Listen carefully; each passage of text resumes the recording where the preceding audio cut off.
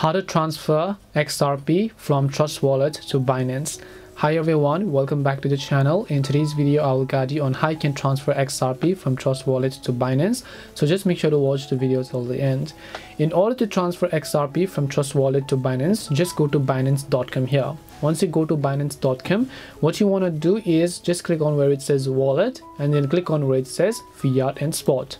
Once you click on fiat and spot over here, you want to make sure to copy the wallet address of XRP on your Binance. So scroll down and then just look for the XRP tokens over here. If you don't find it, you can also simply use a search box here and then just type in XRP.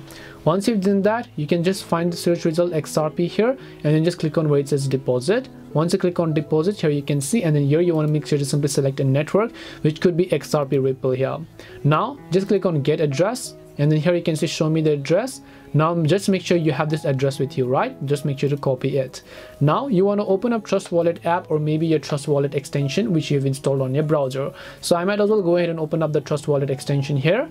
Then you want to simply search for the option called xrp over here which you'll most likely find it from the bottom. Click on xrp now just click on send option make sure to just paste the wallet address we copied over here on the right hand side. Paste it now you might also just want to make sure to actually paste the memo over here. Make sure to copy to paste the memo.